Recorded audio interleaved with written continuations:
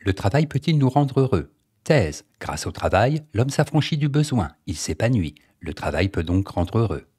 Antithèse. Le travail est le plus souvent une contrainte que l'on effectue par nécessité et sans joie. Thèse. Le travail peut nous rendre heureux. En effet, le travail est ce qui permet à l'homme de réaliser ses plus profondes aspirations. Grâce à lui, il s'affranchit de son animalité première et construit un monde qui est le reflet de ce que son esprit conçoit. Premier argument, le bonheur est la réalisation de tous nos penchants. Pour Kant, le bonheur est la satisfaction de tous nos penchants, critique de la raison pure. Le travail à lui seul peut permettre à l'homme d'être pleinement heureux. Freud considère qu'il est possible grâce à lui de sublimer les pulsions sexuelles. Ainsi, l'artisan qui donne naissance à un objet satisfait autant son esprit que ses sens. Il féconde la matière et il accouche d'une œuvre sortie de ses mains. Deuxième argument, pour être heureux, il faut se libérer de la nécessité. L'animal se contente de vivre, le propre de l'homme est de refuser ce minimum vital. Voilà qui fait sa particularité. En travaillant, il se libère peu à peu des nécessités naturelles. N'étant plus directement soumis à ses instincts, l'homme peut s'élever au-dessus de sa condition première et s'occuper d'un monde qui est véritablement le sien, à savoir le monde de l'esprit. Troisième argument, le travail est la réalisation de l'esprit. Hegel a longuement développé cette idée, l'histoire de l'humanité et l'histoire de l'esprit, qui, sans en avoir conscience, transforme la nature, se projette dans ses œuvres, puis comprend que tout ce qui est réel est identique à tout ce qui est rationnel, c'est-à-dire à tout ce que l'esprit peut concevoir. Grâce au travail, l'homme se sent partout chez lui. En bref, le travail peut faire le bonheur de l'homme. Grâce à lui, il peut améliorer sa condition, humaniser le monde qui l'entoure. Il est la réalisation de ses désirs. En tant que tel, il est source de satisfaction.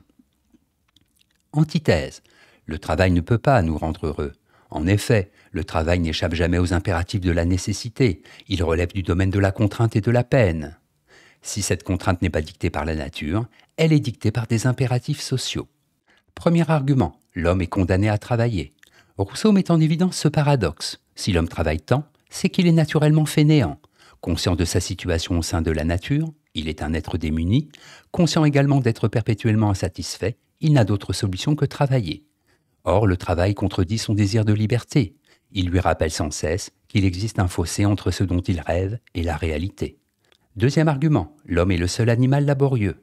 On ne peut pas dire que le castor travaille, il obéit à ses instincts. Une fois son habitat construit, il ne lui reste plus qu'à se livrer à des activités vitales, se nourrir, se reproduire. L'homme, quant à lui, ne peut se satisfaire de ce strict minimum. Sa nature désirante lui impose le travail. Tel est son malheur. Troisième argument, le travail est nécessairement une contrainte.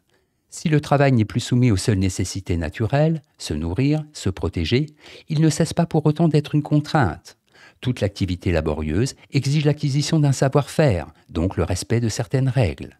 Par ailleurs, en tant qu'activité sociale, le travail impose la soumission à des horaires, une hiérarchie, des impératifs de productivité.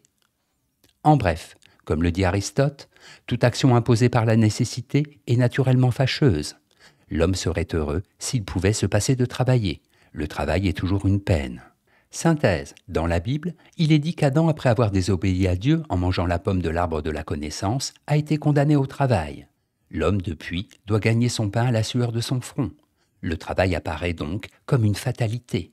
Les Grecs méprisaient tout ce qui dépend de la nécessité.